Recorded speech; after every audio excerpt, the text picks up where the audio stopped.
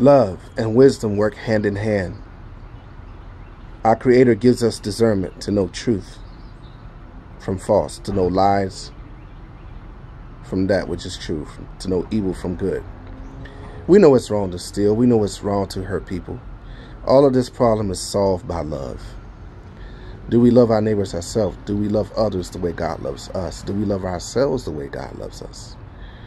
If we love God and we love people the way we should, if we love ourselves the way God loves us, we won't hurt others. We won't hurt ourselves. We won't kill ourselves. We won't rob others. We won't cuss people out. We won't mistreat them.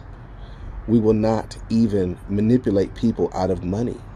Con artists, thieves, that would even exist if we truly love God. You sow love, it'll come back to you. Sow love, it comes back to you. Believe in Jesus. He died on the cross. He rose from the dead because he loves you.